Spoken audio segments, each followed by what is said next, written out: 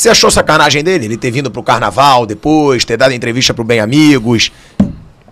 Você achou que teve maldade ali? Pô, veio pra expor a gente. Falando a olha, verdade. Não, eu vou falar. Eu acho que eu conheço muito o Jorge. Mais do que a, a maioria aqui no Brasil. Tem uns conversa fiada que acham que eu conheço ele. Que conhece ele, né? Eu conheço bem. Eu acho que, eu acho que o Jorge não veio com esse veneno todo. Mas ele poderia ter evitado tudo isso. Evitado tudo isso. Ele poderia e deveria ter evitado tudo isso aí. Porque quando ele vem e faz a movimentação que ele faz, segundo ele, segundo ele, ele diz que não que não quis passar as informações, que foi um foi chamaram ele lá para um, pra um jantar e no jantar ele estava com a guarda baixa, segundo ele.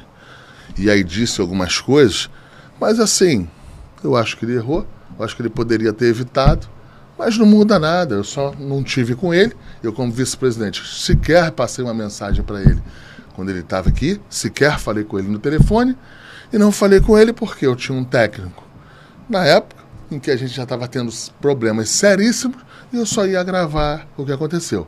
Depois, quando eu fiquei, já a gente contratou um outro técnico e ele já estava em outro lugar. Já falei com ele várias vezes enquanto ele está lá no tá com os turcos lá. Ah, você fala com ele hoje? De vez em quando falo. E é verdade que ele tá querendo levar o Gabigol? Mas, mano, levar o Gabigol como? Isso é uma piada. Isso é uma piada. A multa do Gabigol é 35 milhões de euros, 33 milhões de euros. A parte do Flamengo à vista. Entendeu? É, a, a maneira dele levar o Gabigol hoje é essa. Essa e essa aí não é, não é a maneira que os turcos podem fazer. É a maneira que qualquer clube no mundo pode fazer. Se o Fenerbahçe botar 33 milhões de euros, sim, ele leva. Sim, porque é contratual. Mas eu tenho certeza que o, que o, o, o, o Gabriel não irá para lá. Então não adianta, porque quando, mesmo quando você exerce a multa rescisória, você tem que ter um contrato com, com o clube. Não adianta exercer e não, ter. Isso é piada, rapaz. Isso é piada. Saiu Pô. na mídia turca, você Sim, viu, né? Mas vamos falar de coisa séria. Eu tô querendo falar de coisa séria. Tu Ué, quer- mas eu vou perguntar. se eu você vou quer- sempre perguntar. Você Se- me conhece, pô? Sim, é mas só eu- ir na mídia turca que o Sim. Gabigol interessa ao Fenerbahçe. Que o Fenerbahçe Eu- pode pagar 33 milhões de euros no Tá, cara. então- eu tenho que perguntar. Tá bom, vai pagar 33 lá pro Flamengo lá. E como é que vai levar ele? Eu quero ver o- ele indo pra lá. Você acha que o Gabigol prefere muito mais ficar no Flamengo? Vai preferir qualquer lugar menos lá, pô. Entendeu? Não, não menos lá. Ele vai ter um- ele teria outras opções. Sei lá, o Gabigol acho que é um jogador hoje. Acho, não tenho certeza, de Europa. Eu acho que o sonho do Gabriel poderia ser uma, uma, jogar uma Premier League. Entendeu? Ou, Poderia ser não. Você conhece o Gabigol, então é jogar uma Premier League. Não, não. Os, os, os sonhos e os teus desejos na vida, eles mudam. Mudam com o passar da, do tempo, mudam ou por uma determinada situação. Então eu acho que eu acho que eu acho que o Gabriel sair do Flamengo, isso, é uma, é uma- isso aí é uma, é uma intuição minha. Eu acho que se ele sair do Flamengo, ele vai para a Europa.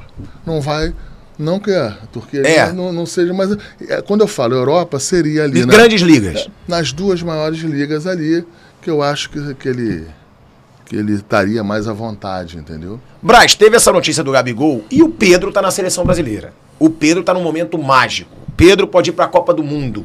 Dá medo. A mãe, de... de- a mãe dele não tá triste agora, não. Não tá Isso eu tenho, que, eu tenho que perguntar para os jornalistas, para um monte de cara que falou um monte de besteira. Assim, o Pedro é um cara sensacional. É um cara. É um cara. de- de- sério mesmo, é um cara que não reclama de nada. É um cara primeiro, primeiro a treinar, último, primeiro a chegar, último a ir embora. Tá passando um momento mágico.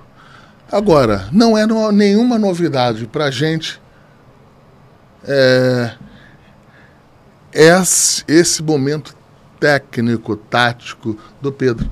Tanto que não é que a gente teve o peito, que tinha que tem que ter peito também, de ir lá e contratar ele por 12 milhões de euros.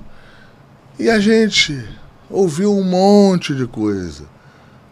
É muito caro, tem outra opção, compra dois por dois de seis, você ajusta o time. A gente sempre acreditou nesse jogador. A gente, a gente sempre acreditou quando ele não estava nem aonde a gente comprou ele. Quando ele estava no Fluminense, a gente já queria contratar ele. A gente sabia que o Fluminense não venderia para o Flamengo. Era... Tem os motivos dele, eu respeito isso. Quando foi para o Fiorentina, passou ali seis meses, a gente foi e entrou na. A gente conseguiu trazer ele. Então, a gente. É, o Pedro não é amor de primeira vista, não. O Pedro, a gente quando ele estava no Fluminense, quando ele saiu. A gente sempre quis contratar ele, graças a Deus ele está muito bem. E eu acho, falei isso, eu falei isso antes dele ser convocado, com um aumento do número de jogadores de convocação, que aumentaram 23 para 26. 23 para 26, são três jogadores a mais. Com uma característica dele de mudança tática dentro de um jogo ou mudança tática para um jogo, eu acho que ele estará dentro dessa dentro da dentro da, da Copa do Mundo. Acho, acho de fato. Tomara que esteja. A gente a gente quando a gente contrata um jogador, tia, a gente sempre torce para ele ser convocado.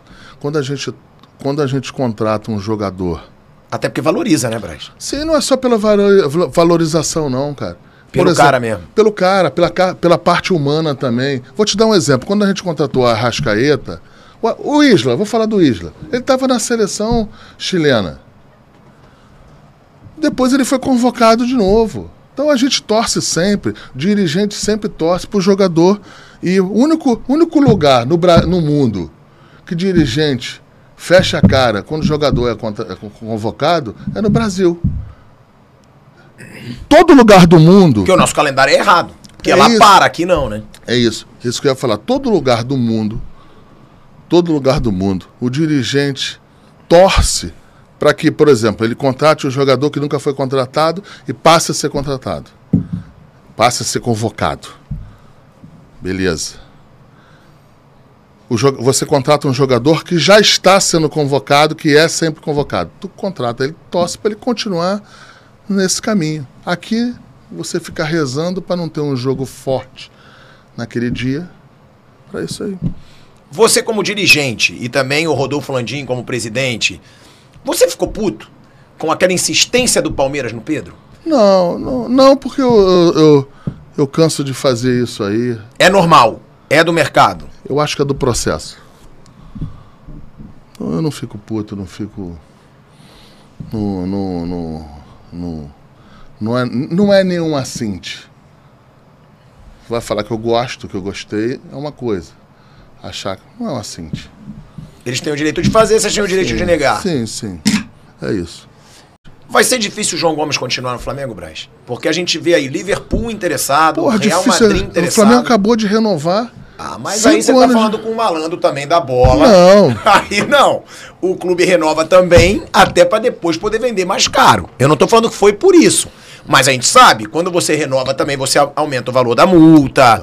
É, o que eu digo é que são clubes gigantes. É Real tá, Madrid tá, mas, e Liverpool. Mas deixa eu fazer uma, O Flamengo, eu, eu sofri muita crítica que a gente demorou demais nessa renovação, porque achavam que a gente tinha que ter. Que valorizar o moleque. Que valorizar o moleque. Como? A operação sempre está, esteve na mão do Flamengo.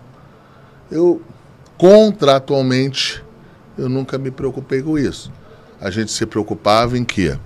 Em dar um reconhecimento pro, pro jogador, um reconhecimento é, não em função do medo contratual, que a gente ainda tinha três anos. E a gente foi ponderando daqui, foi ponderando dali, que também é, a gente precisava tomar alguns cuidados e aconteceu da melhor forma possível. O garoto assinou cinco anos de contrato, teve o reconhecimento dele esportivo e não, não, e não mudou em nada, não ficou chateado, nada. A minha relação é muito boa. A minha relação é muito boa com, com o João. Agora, uma proposta do exterior, ela não está sob a minha, a, a, o meu processo decisório, não está sob o processo decisório do presidente Rodolfo Landim. Se for verdade é, que tem um, um Liverpool, um Real Madrid. Real Madrid ou qualquer, que bom que tenha. É sinal de que o Flamengo tem um grande ativo, é sinal que o Flamengo fez o certo em renovar, mesmo um pouco sendo mais duro, por cinco anos, é sinal que o Flamengo fez as coisas certas. E que pode ganhar ainda mais dinheiro com um jovem como fez com Paquetá, Sim. Vinícius Júnior, Gianluca, Rodrigo Muniz, Renier. Nesse momento a gente está preocupado em ganhar com o João Gomes a, o lado esportivo. A gente tem duas decisões aí importantíssimas e tem um campeonato de ponto corrido que a gente ainda, com certeza, a gente não, não entregou. Então, o que eu posso falar é que a nossa preocupação hoje é com a parte esportiva, até porque ganhando, o garoto vai ficar aqui achando, é, entendendo que pode ficar é, mais tempo ainda, de repente ele entende que um processo natural de ir para a Europa ele pode ser postergado. Com o Neymar foi assim, não tô, pelo amor uhum. de Deus, não estou comparando não. Claro. Pelo amor de Deus, não, é só para deixar o negócio.